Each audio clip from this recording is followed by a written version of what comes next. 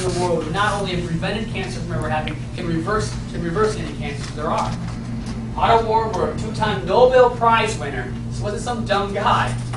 The cause of cancer is no longer a mystery. We know it occurs whenever any cell is denied 60% of its oxygen requirements. When the cell doesn't have oxygen, it begins to turn cancers. The cells have to have oxygen to survive. Because what does a cell use? What does a normal cell use to survive? Oxygen. And what does the cancer cell use to survive? Sugar. Has to have oxygen to survive. And that's what they, they discovered. Being oxygen deprived is one of the major causes of all your illnesses, oxygen deprivation in your body. One of, the, one, of, one of cancer's primary characteristics is a lack of oxygen in the cell and blood. Cells do not function in the way that we were intended to function with depleted oxygen supplies. Your cells will not do what they're supposed to do if they don't have oxygen. They have to have oxygen in order to do what they need to do, to replicate normally.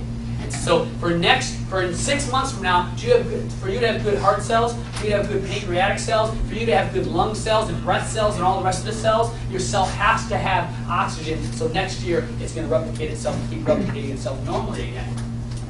Causes of oxygen depletion. Number one, toxicity and acidity. Toxicity. And so toxicity and acidity cause a residue which coats the membrane of the cell. Coats the membrane. Remember, the, the membrane on a cell, a membrane on a cell, as long as it has what it needs, will let oxygen, will let oxygen come into it. It'll let oxygen in. And so what happens is, when you're toxic and acidic, what happens is you start creating around the cell, right along the cell, you start creating a coating on that cell. Your cells become coated, and they become coated, and they get a sticky residue and a residue there. And so now, what can't get into this cell? Oxygen can't get into that cell. So now the cell starts becoming starts becoming cancerous. And as the cell becomes cancerous, it starts forming its eight receptor sites for what? Sugar. Sugar. And sugar gets in. The cancer cell, you're going to see well, how sugar gets in in a second, how powerful this is. But toxicity causes a residue which coats the membrane of the cell, present, prevents it from breathing. What we talked about, in, auto-intoxication happens. It gets suffocated in there. It can't breathe properly, suffocates the cell, becomes cancerous. Smoking.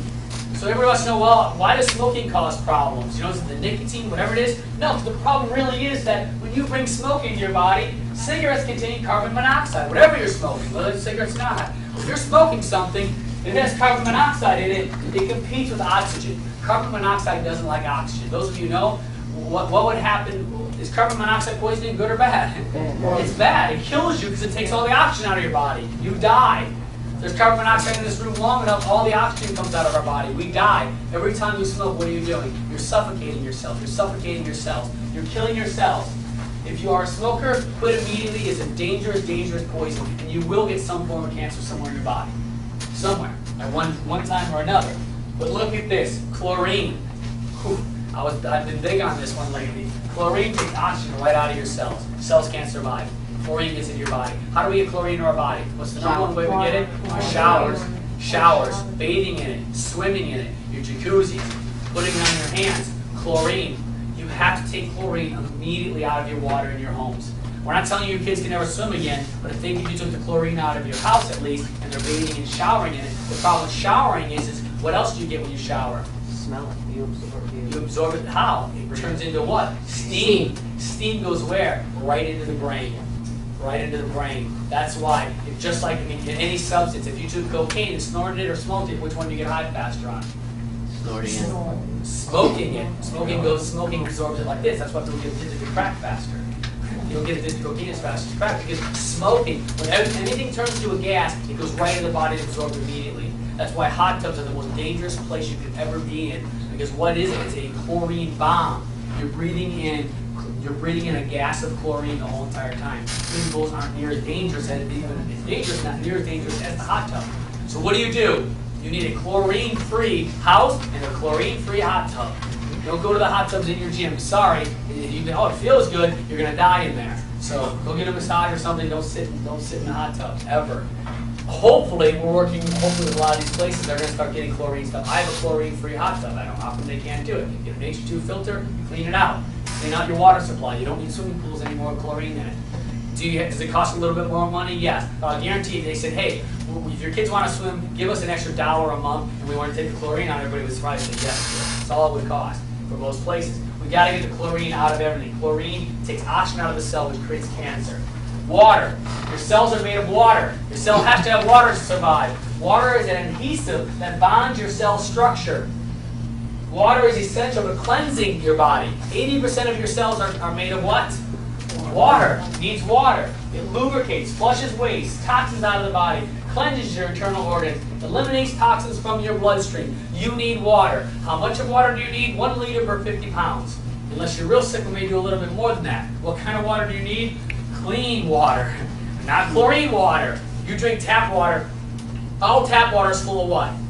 Chlorine and lots of it. Is because why? Because it's sewage water. Usually they have to get what out of there. The bad stuff, but what do they use to clean water? Chlorine, plus a million other things they use. It, it- it is not, you should not ever, besides the bacteria and all the drugs inside of it, you can't, you can't, even with chlorine doesn't get a lot of antibiotics out of the water and everything else out of the water. So we need to have clean water supply.